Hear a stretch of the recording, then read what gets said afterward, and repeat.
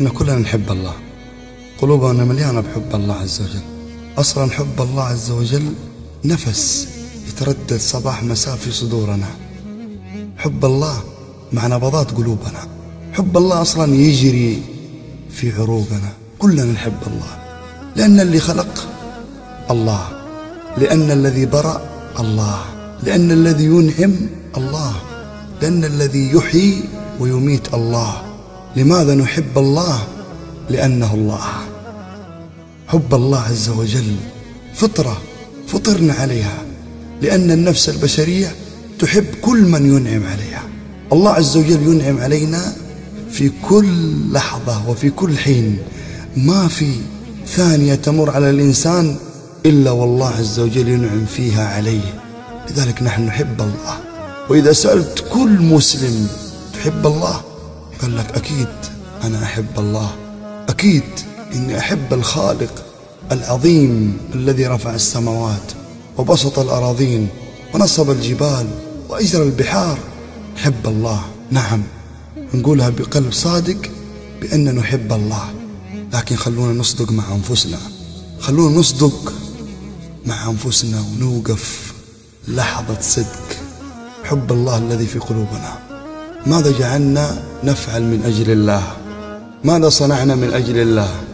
ماذا فعلنا من أجل الله؟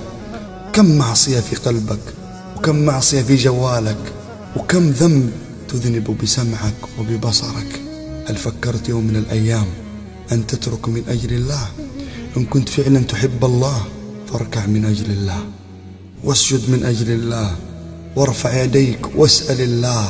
ولا تسمح لنفسك أن يتعلق قلبك بغير الله. كنت تحب الله فامسح الآن ما في جوالك من أجل الله.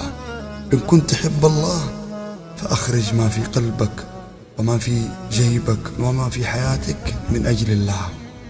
لأننا نحب الله لابد أن نفعل من أجل الله.